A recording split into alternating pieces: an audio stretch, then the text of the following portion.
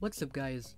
In this video I want to show you how to transfer your data and applications from your old Android phone to the LG G6 using LG Mobile Switch application. Now the LG Mobile Switch application comes pre-installed on the G6. You can download the application for your old Android phone from the Google Play Store.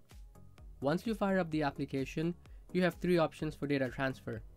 You can use a USB cable, you can do it wirelessly, or use an SD card.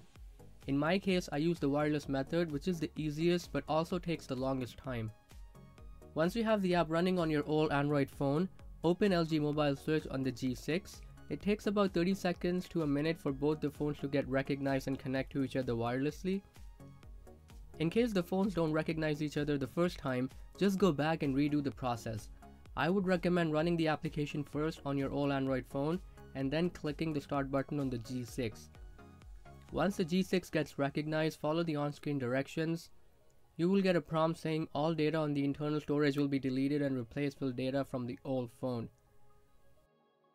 On top, you can also see the total time it takes for you to transfer your content from the old device to the new one.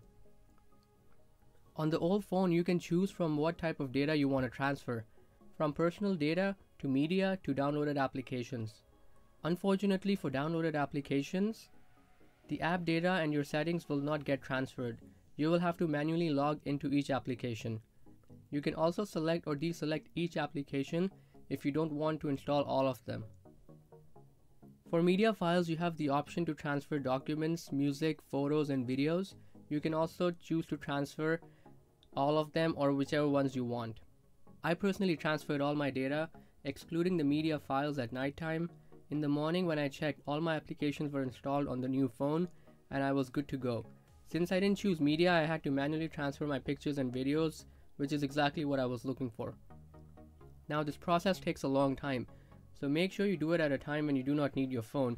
Initially everything gets zipped on the old device, then it will get transferred on the G6, followed by installation.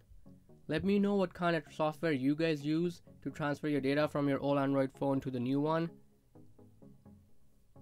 also, if you guys have any questions, let me know in the comment section below. Like this video if it helped you out and subscribe to my channel to see more cool tech videos like this. This is Fahad signing out from Tech Capital. Have a good one and I'll see you guys in the next one.